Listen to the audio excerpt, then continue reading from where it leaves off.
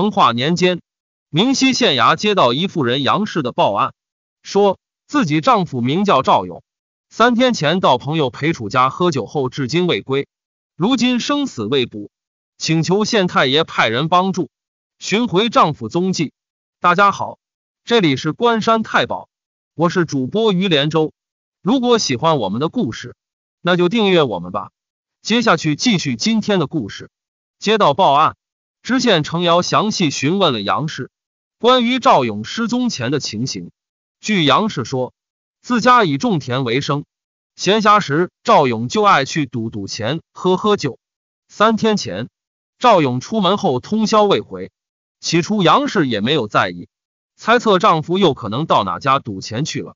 第二天中午，赵勇还是没有回来，杨氏有点心急了，四处询问邻居关于赵勇的去向。邻居都说不曾见过。杨氏又转念一想，丈夫还爱喝酒，经常去裴楚家喝酒。这次会不会也是在他家喝醉了，直接睡下了？杨氏赶忙跑到裴家找人，可裴楚告诉他，几天前赵勇是到过他家喝酒，可昨天晚上并没有来过，实在找不到赵勇。杨氏无可奈何，只得一个人回了家。天色渐晚。赵勇始终没有出现，杨氏心中渐渐有了不好的预兆。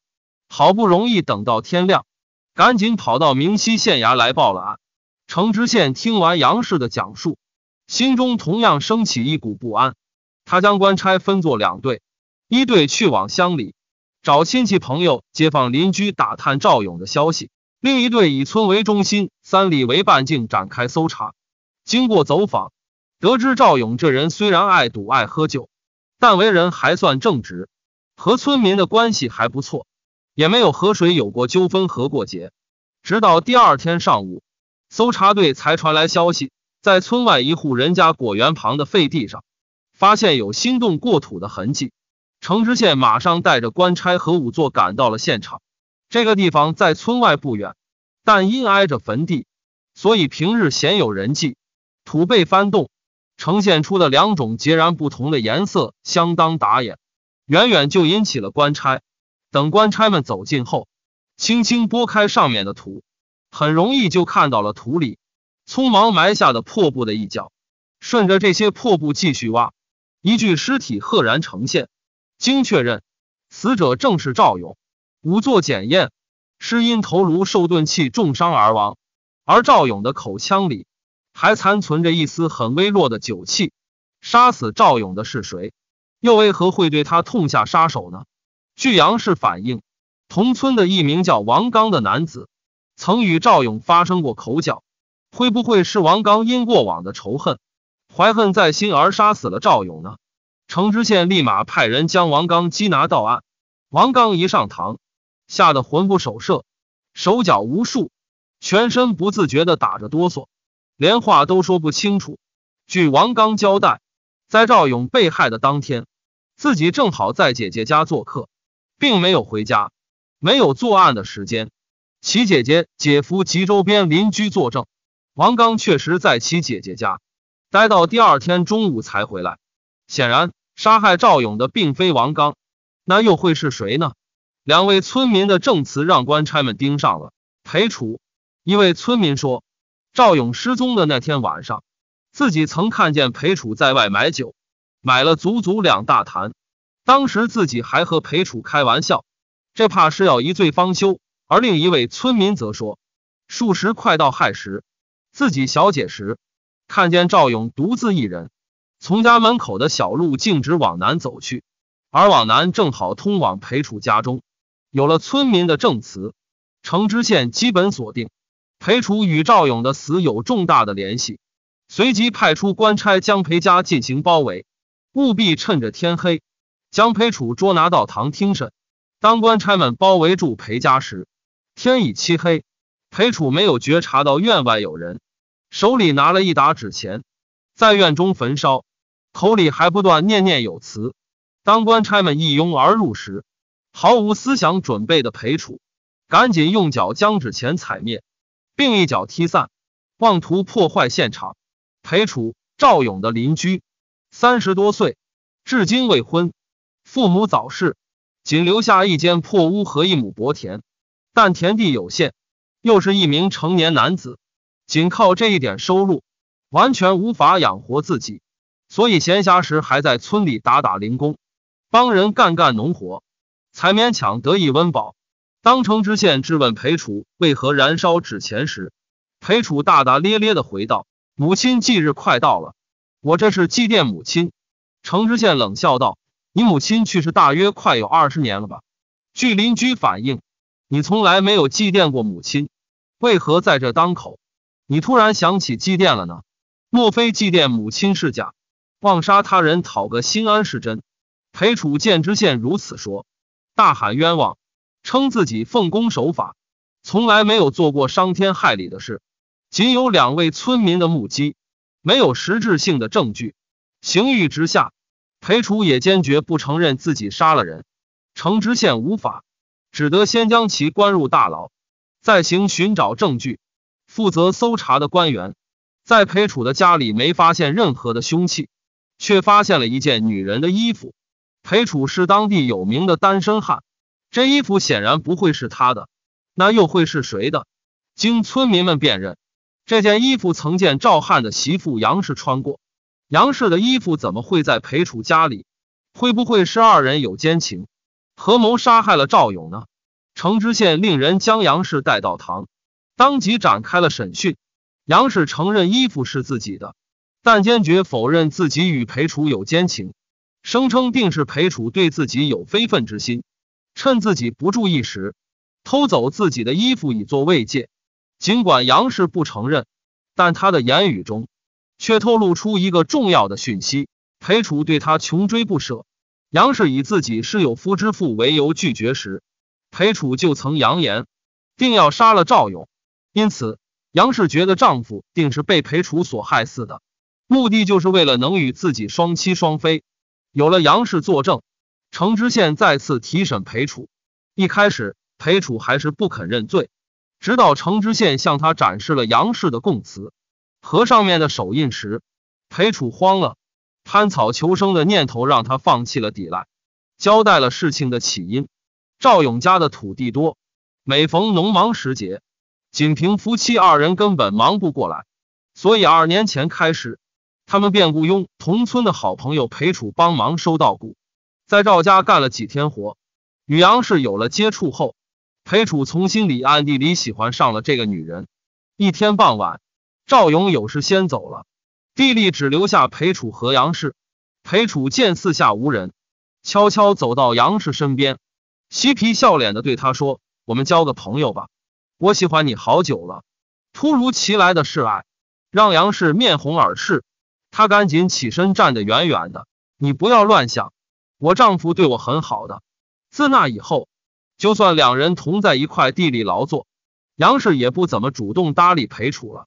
初次遭到杨氏的拒绝，裴楚并未善罢甘休。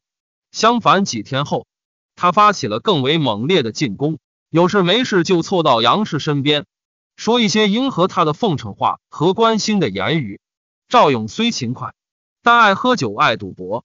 每次喝完酒后，就喜欢跑到外面去赌一两把，十赌九输。杨氏对丈夫这个恶习很是反感，又屡劝不听。心里更是万分的生气，渐渐夫妻二人的关系也越来越冷淡。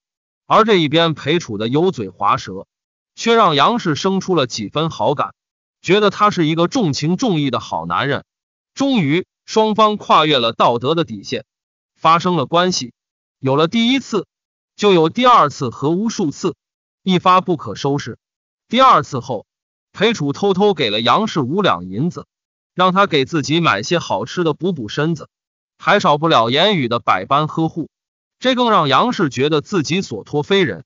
再反观自己的丈夫，除了一身蛮力，从不懂得嘘寒问暖和体贴，这让杨氏心中的天平开始发生了倾斜，主动找机会和裴楚媾和。就这样，两人暗地里偷偷摸摸，一晃就是二年。这天，裴楚见赵勇出了门。按捺不住心中对杨氏的思念，便悄悄潜进了杨氏家中。可没想到，这次赵勇竟很快回了家。进屋后，却看见妻子一脸潮红，衣衫不整的样子。而杨氏的解释是自己刚刚和裴楚从地里回来，汗流浃背的，所以洗了一个澡。赵勇看似信了，心里却起了一丝怀疑。他恶恨恨地对杨氏说道：“你要是敢背着我偷人，被我抓到，我一定会打死你。”杨氏低着头，在赵勇面前赌咒发誓，自己定不会做对不起他的事。事情没有败露，村里却有了风言风语，说裴楚经常去赵家，一待就是一两个时辰。也不知这些话赵勇有没有听到。总之，他没有任何表现，反倒是杨氏开始不安了起来。这天，裴楚在偏僻处拦住杨氏，要求苟合。杨氏害怕，断然拒绝了他的要求，还提出以后也不要再来往了。裴楚哪里肯？几天后又找到杨氏，杨氏还是不肯。裴楚霸王硬上弓，暂时满足了自己的需要。事后，杨氏边穿衣服边说道。两人以后再不要见面了。自己和裴楚之间是不可能的，除非赵勇不在了。说者无心，听者有意。赵勇不在这句话被裴楚听进了心里，他想要和杨氏长久的做夫妻，便起了杀死赵勇的念头来。而一旦这个主意上了头，就一直挥之不去。四月十八日的晚上，裴楚请赵勇到自己家里喝酒，准备趁他喝多了之后杀死他。不巧的是，正当裴楚打算动手时，邻居突然上门来借东西，正好看见了赵勇在他家，还打了个招呼才离开。裴楚担心事发后邻居举报自己，不得不中断了计划。十天之后，裴楚再次请赵勇上门喝酒，这次他做好了万全的准备。傍晚时，先去买了两坛酒，又将旧衣服裁剪出来拼好，准备用来裹尸。万事皆备，自欠东风。东风也很快进门了。在赵勇喝的有点醉意时，裴楚借口去厨房，转身在门外拿来一只八角铁锤，对着赵勇的后脑砸了过去。赵勇当即就倒在了地上，鼻子、嘴巴往外喷血。仅挣扎了不到一分钟，赵勇就死了。裴楚抽了一根烟后，用布将赵勇裹起来，趁着夜色。背到村外的荒地里埋了，然后回到家里，将地拖洗干净，又将沾上血渍的衣服脱下来烧了。眼看屋里整洁如新时，他放下心来，美美的睡了一觉。赵勇失踪后，杨氏四处寻找，裴楚却趁着半夜偷溜到他家中一语苟合。杨氏没有心情，裴楚劝道他不要找了，他回不来了，以后我们就是夫妻了。听到这话，杨氏恍然大悟，他眼中的好男人为了和他在一起，变成了一个杀人恶魔。杨氏怕的不行，又不敢违抗裴楚，只得再次委身于他。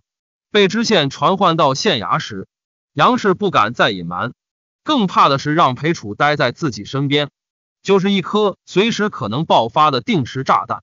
所以他语焉不详的透露了裴楚的犯案动机。而程知县凭着这一动机，顺藤摸瓜，确认了裴楚的犯罪事实。裴楚被判以绞刑，杨氏虽然没有被判罚，但他与通奸一事也在难以遮掩，而被赵氏宗族逐出家门。好了，今天的故事就讲到这里，喜欢的话请给我点个赞，别忘了订阅和分享，谢谢你的支持。